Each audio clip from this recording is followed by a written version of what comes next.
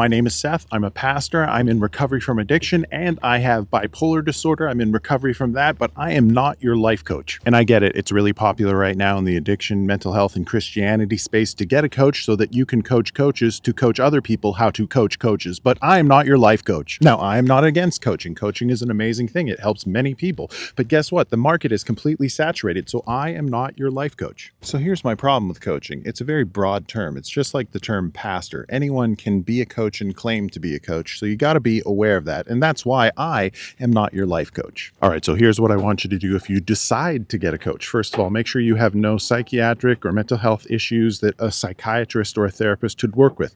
Secondly, do your research. Make sure you look at all of the free stuff that's out there first and then compare four, five, or six coaches because guess what? I'm not your life coach. And guess what? I have a coach. They have credentials outside of coaching. I see them quite regularly. But remember, I have 14 plus years of addiction and recovery experience. I go to support groups outside of that. So I'm centered spiritually. So I'm not your life coach, but definitely go to a coach. And if you like these videos, you can watch more of them. They're up on the screen right now.